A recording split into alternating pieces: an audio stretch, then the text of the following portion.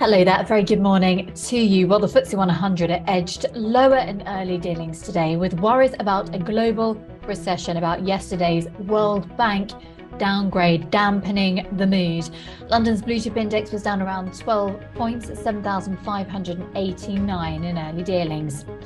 UK house prices increased by 1% in May, the 11th consecutive monthly rise, according to the latest Halifax survey, but at the slowest annual rate so far this year.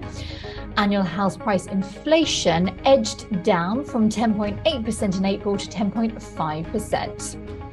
Melrose Industries was the biggest riser as it confirmed it will begin a £500 million share buyback programme on Thursday after agreeing this week to sell its Ergotron business. The FTSE 100 engineer said it wanted to distribute capital to shareholders in the quickest way.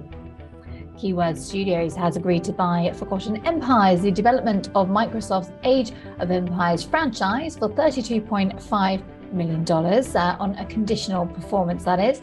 The video game specialist added that trading so far this year has uh, been up to scratch. Also today, Gran Tierra Energy shares were rising as it told investors it's uh, paid off its credit facility and uh, confirmed a ramp up as well in production as uh, new wells were brought online in South America. Among small cap news today, AfriTin said initial drilling results from its flagship mine there in Namibia produced better than expected lithium grades. And Hercules Site Services, meanwhile, declared an interim dividend and reported underlying profits ahead of management expectations. Revenue at the construction staff supplier increased 42% year on year to £19.9 million. As always, the detail is there on proactiveinvestors.co.uk, so go check that out and have yourselves a great day. Bye.